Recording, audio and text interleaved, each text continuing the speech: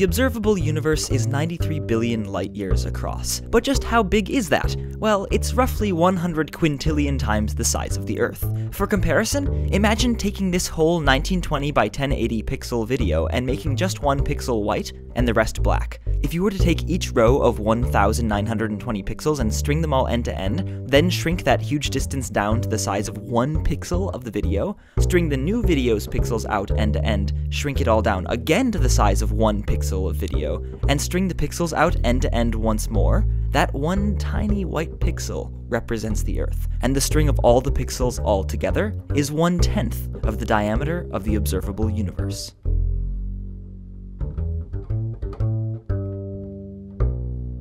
This episode of Minute Physics is supported by Audible.com, the leading provider of audiobooks across all types of literature, including fiction, nonfiction, and periodicals. I highly recommend The Hitchhiker's Guide to the Galaxy, a hilarious novel about how to find the meaning of life and a good cup of tea after Earth is destroyed for an intergalactic traffic bypass. You can download this audiobook or another of your choice for free at audible.com slash minutephysics. Again, thanks to Audible for making it possible for me to keep producing Minute Physics and for giving you a free audiobook at audible.com slash minutephysics.